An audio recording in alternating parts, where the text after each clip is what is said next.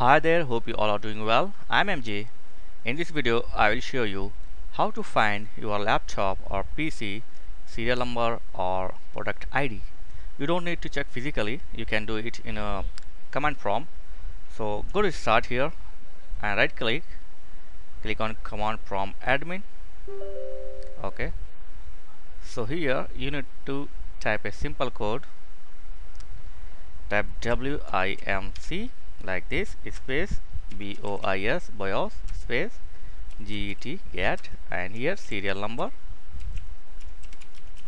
Don't give the space in between serial number.